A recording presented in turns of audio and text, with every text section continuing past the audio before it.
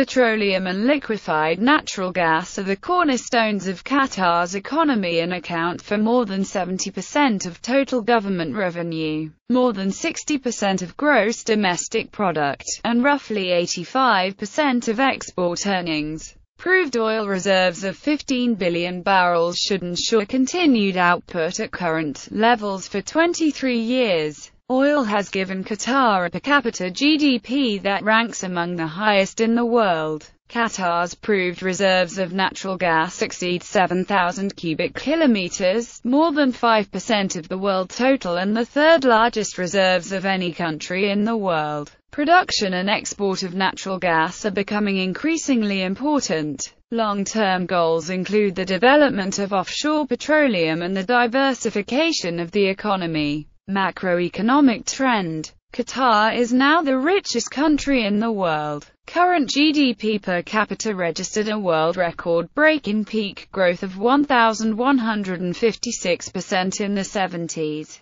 This became quickly unsustainable and Qatar's current GDP per capita contracted 53% in the 80s. But rising global oil demand helped current GDP per capita to expand 94% in the 90s. Diversification is still a long-term issue for this overexposed economy. This is a table of gross domestic product of Qatar at market prices estimated by the International Monetary Fund with figures in millions of Qatari riyals. For purchasing power parity comparisons, the US dollar is exchanged at 5.82 Qatari riyals only. Mean wages were $59.99 per man-hour in 2009. In February 2012, the International Bank of Qatar reported that GDP grew by 19.9% in 2011, but estimated that 2012 growth would slow to 9.8%. Energy sector before the emergence of petrol-based industry, Qatar was a poor pearl fishing country. The exploration of oil and gas fields began in 1939. In 1973, oil production and revenues increased dramatically, moving Qatar out of the ranks of the world's poorest countries and providing it with one of the highest per capita incomes in the world. Qatar's economy was in a downturn from 1982 to 1989. OPEC quotas on crude oil production, the lower price for oil, and the generally unpromising outlook on international markets reduced oil earnings.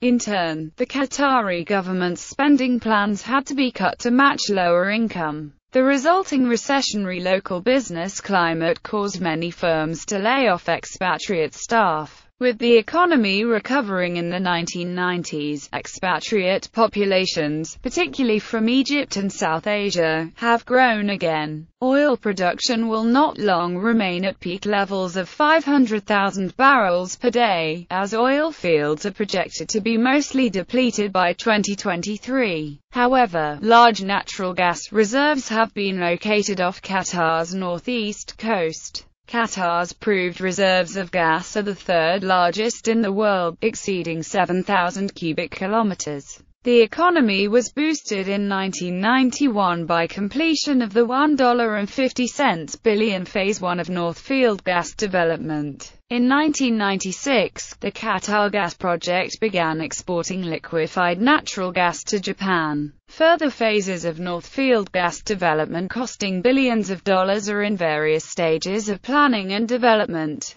Qatar's heavy industrial projects, all based in UM UMSED, include a refinery with a 50,000 barrels per day capacity, a fertilizer plant for urea and ammonia, a steel plant, and a petrochemical plant. All these industries use gas for fuel. Most are joint ventures between European and Japanese firms and the state-owned Qatar General Petroleum Corporation. The U.S. is the major equipment supplier for Qatar's oil and gas industry, and U.S. companies are playing a major role in North Field gas development. 890 Qatar pursues a vigorous program of Qatarization, under which all joint venture industries and government departments strive to move Qatari nationals into positions of greater authority. Growing numbers of foreign-educated Qataris, including many educated in the U.S., are returning home to assume key positions formerly occupied by expatriates.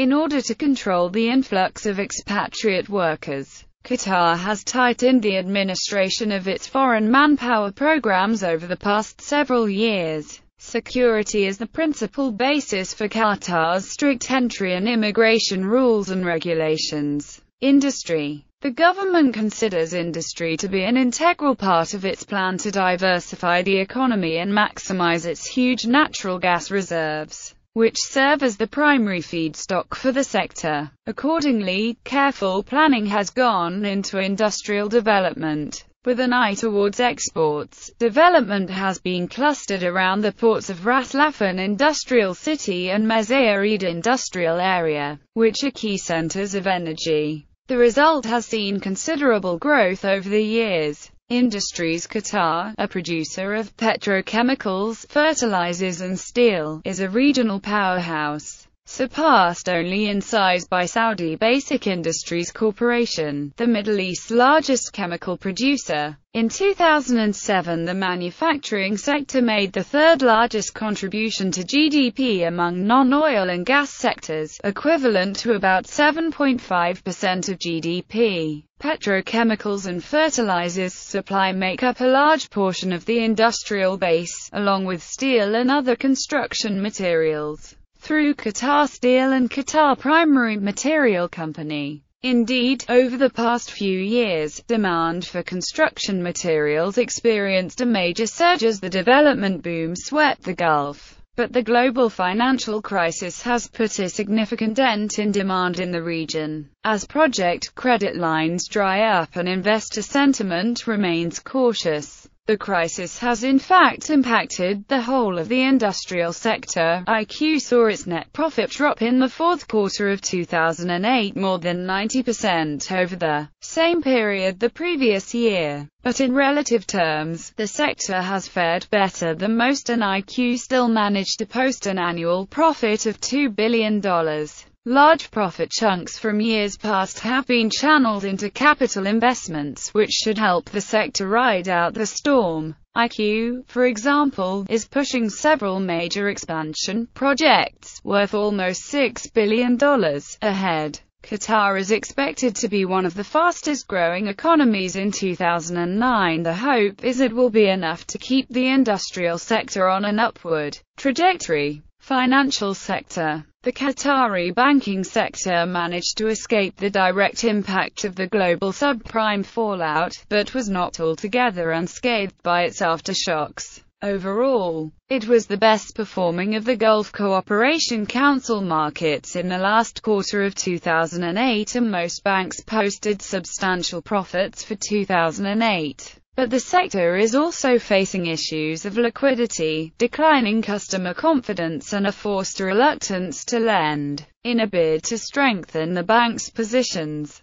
The Qatar Investment Authority announced in early 2009 that it was willing to take a 10 to 20% stake in any interested local listed banks by way of a capital injection, although this was later reduced to 5% stakes and an additional 5% at the end of 2009. The Qatari government also announced in March 2009 that it was planning to buy the investment portfolio of the banks in the hope this would encourage them to continue lending. Cautious sector sentiment has also been compounded by the Qatar Central Bank's lending restrictions, which demand a loan-to-deposit ratio of 90%. Given the high level of integration between Qatar's economy and the Gulf region, as well as the wider world, a slowdown in business and banking activity seemed inevitable. Nevertheless, Qatar's banking sector has been faring relatively well, considering the strife experienced in other countries and insiders are confident that activity will return to its previous brisk pace in the second half of 2009 as confidence slowly rebuilds around the globe. Islamic finance The Islamic finance sector enjoyed increased activity in 2008 and is expected to continue to grow into 2009 as more sophisticated financial instruments spark the interest of investors. In addition to Islamic banks, such as Qatar Islamic Bank, Qatar International Islamic Bank and newcomer Masraf Al Rayan, Conventional banks have also been entering the Sharia-compliant sector and are coming to view an Islamic subsidiary as a virtual necessity in order to maintain market standing. Islamic banks currently take the lion's share of Sharia-compliant business, though the conventional banks are working hard to take a greater share of market activity. Both Islamic banks and Islamic subsidiaries did remarkably well in the first three quarters of 2008 during which overall financing activity increased by 70.6% compared to the same period in the previous year. The global financial crisis has certainly thrown a dampener on this growth, though. Poor market conditions have contributed to a marked slowdown of Islamic bond, or sukuk, activity in 2008 throughout the Gulf but other segments, such as Islamic insurance, or takaful, have not seen a similar downturn. In fact, takaful still shows significant room for expansion as it currently makes up less than 20% of the total insurance market. Overall, challenges to further growth remain, including a lack of qualified staff to meet the growing demand for Sharia-compliant banking services. In order to compete with the conventional banking sector and expand its customer base, Islamic banks need to invest in suitable human resources. Capital market The stock market capitalization of listed companies in Qatar was valued at $95,487 million in 2007 by the World Bank. As 2008 drew to a close, no capital markets around the globe, including Qatar's, were immune to the effects of the subprime fallout. That said, there is considerable optimism that Qatar's bourse, the Doha securities market, will remain relatively resilient to the ongoing international turbulence. It has followed the same peak-trough trajectory as many others around the globe, hitting record highs in mid-2008, before diving in late 2008 and early 2009. Between December 2006 and July 2008 the DSM index rose about 117% before the global financial crisis wiped out most of these gains. In the first few months of 2009, the DSM lost about 40% of its value. In an effort to stave off further losses, the government announced in February 2009 that it would step in to buy up shares of troubled banks amounting to about 10% of the market's capitalization. The move dramatically improved investor optimism and is hoped to prevent the market from falling further. The proposal to create a single unified regulator as early as 2010 to oversee all banking and financial services is viewed as another promising development that will dramatically transform the financial sector for the better. Underlining these developments is strong optimism that the solid base of Qatar's economy, which has maintained a favorable outlook, will be enough to buoy capital markets and lure shaken-up investors back to the trading floor. Tourism Under the ambitious five-year development plan of the Qatar Tourism and Exhibitions Authority, the government aimed to boost the number of visitors from 964,000 as of 2007 to 1.5 meters by 2010. The funding required to meet this goal was present in sufficient amounts. In 2008, the state allocated some $17 billion for tourism development through 2014 most of which was allocated towards hotels, exhibition space and infrastructure. In order to keep up with a rising number of visitors, the government set a goal of increasing hotel capacity 400% by 2012. In addition to financial support, the government has also worked to ease business regulations in a bid to increase private sector activity. A major aspect of expansion plans is the Hamad International Airport which will have the capacity to handle up to 24 meters passengers upon the completion of the first phase in 2012. Taking into consideration that the vast majority of these visitors are members of the business community, the government has targeted the meetings incentives, conferences and exhibitions segment is a viable source of development, with two new convention centers slated to open in 2011. Other niche tourism segments receiving special focus include cultural tourism on the back of the high publicity opening of Doha's Museum of Islamic Art, and sports tourism, initially spurred by the Asian Games, to which Qatar played host in 2006. The government appears to be committed to long-term expansion plans, but challenges nevertheless remain, including effective marketing to the international community as well as the effect of the financial crisis on global tourism appetite. Transport. With a fast expanding population and substantial economic growth over the past decade, a reliable and extensive transportation network is becoming increasingly necessary within Qatar. So far the government, the primary transport developer, has done well in terms of keeping up with demand for new transportation options.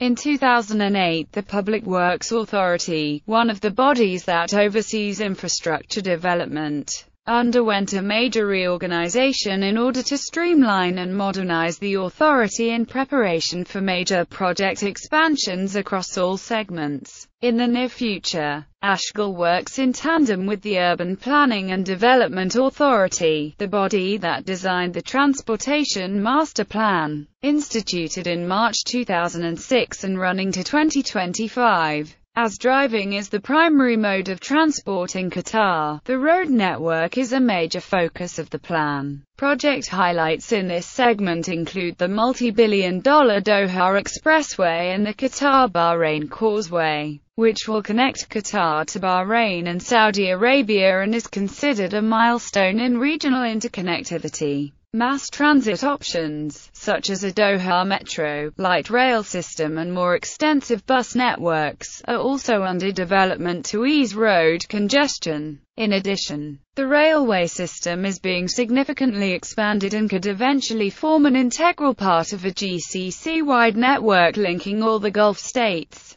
The airport, too, is expanding capacity to keep up with rising visitor numbers. Finally, port infrastructure is seen as an integral part of Qatar's economic development as it focuses on LNG and industrial exports. The port at Mesaieed is undergoing expansion and will be able to handle around 1 meter 20 foot equivalent units by 2020. While the financial crisis may present challenges to infrastructure development, once all projects are up and running Qatar will have one of the most advanced and modern transport infrastructures in the region.